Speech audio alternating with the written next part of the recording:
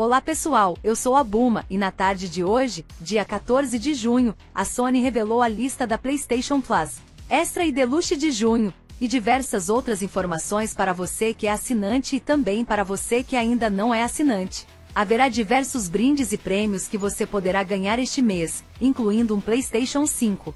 Começando com a PlayStation Plus, os usuários podem esperar novidades em todos os catálogos, como, por exemplo, novos títulos clássicos e muito mais.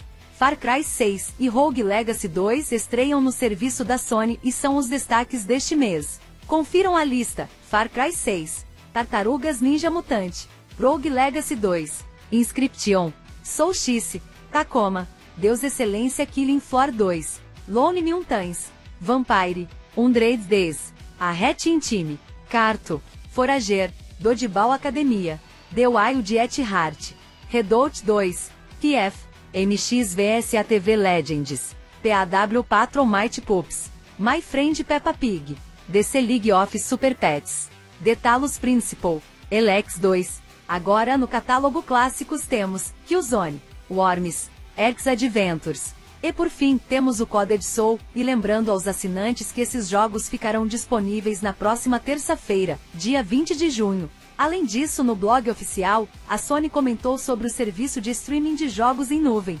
De acordo com ela, os testes irão começar em breve para jogos de PlayStation 5, PlayStation 4 e PlayStation 3 que fazem parte do nível mais alto da assinatura, que é o nível Deluxe. Os testes também estarão disponíveis para os jogos digitais que os jogadores possuem e poderão ser transmitidos diretamente em um console PlayStation 5. Dessa forma, os jogadores poderão jogar seus jogos diretamente da nuvem, sem a necessidade de fazer o download e sem ocupar espaço no HD. A Sony falou que os testes estão em estágios iniciais agora e mal pode esperar para compartilhar novos detalhes em breve. Portanto, fiquem atentos. Agora, uma novidade muito maneira é que entre os dias 20 e 30 de junho, teremos várias atividades para membros e não membros do PlayStation Plus. Nessa ocasião, todos os membros receberão um código de voucher para resgatar avatares personalizados e papéis de parede personalizados que comemoram alguns dos títulos mais populares oferecidos pela PlayStation Plus.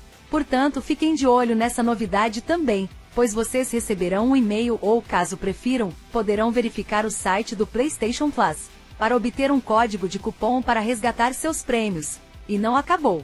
Entre os prêmios, a Sony confirmou que estará sorteando um PlayStation 5, além do PlayStation VR 2, e todos poderão participar, até mesmo quem ainda não possui uma assinatura da PlayStation Plus. Para concorrer a esse prêmio, tudo o que vocês precisam fazer é responder a cinco perguntas sobre o serviço. As perguntas estarão disponíveis no site da PlayStation entre os dias 20 e 30 de junho.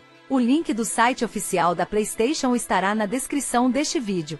E por último, para o pessoal que acompanha o PlayStation Stars, também haverá novidades. Estão vendo esses três anéis colecionáveis digitais exclusivos? Eles farão parte da nova campanha, e para vocês conseguirem desbloqueá-los, Fiquem atentos à nova campanha da PlayStation Stars, disponível a partir do dia 20 até o dia 30 de junho. Essas foram as notícias da vez. Se vocês deixarem um like para apoiar o canal, beijinhos da Buma e até a próxima!